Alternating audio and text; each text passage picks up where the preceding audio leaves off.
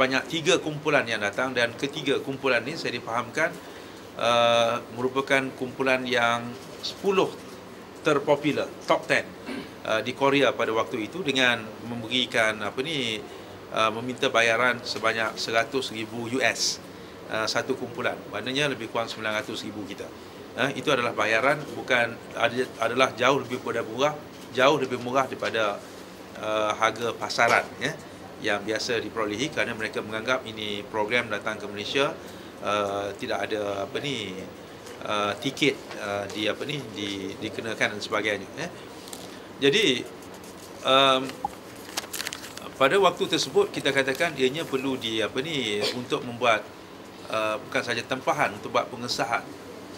Mereka ini perlu diselesaikan bayaran awal. Kerajaan hanya mendahulukan bayaran ini ini hanya dari segi accounting. Sedangkan kita mendapat tajaan dari segi cash pada waktu tersebut akhirnya sebanyak 2.3 juta uh, bayaran awal yang kita buat eh, sebanyak 900 ribu sebenarnya sudah cukup untuk ditampung oleh cash tersebut. Jadi tentang isu mereka tidak ditaja tidak timbul.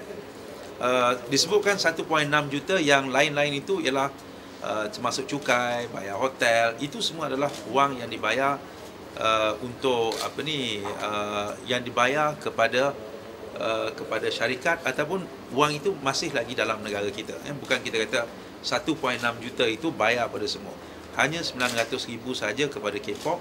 Yang lain tu dari segi pengangkutan dari segi apa ni uh, security dari segi hotel dari segi makanan dan sebagainya itu semuanya adalah bayaran yang kita bayar pada pembekal tempatan.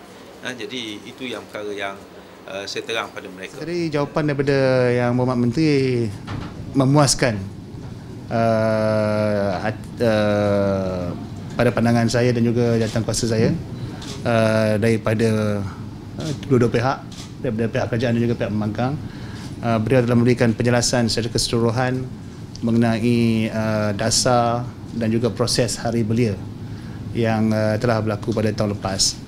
Uh, dia juga telah memberikan uh, penjelasan mengenai isu K-pop yang uh, di apa yang menjadi uh, tumpuan uh, di media dan uh, saya rasa um, penjelasan yang telah beri, penjelasan yang telah berikan oleh beliau mengenai K-pop itu uh, uh, telah memuaskan hati hati uh, jawatan kuasa.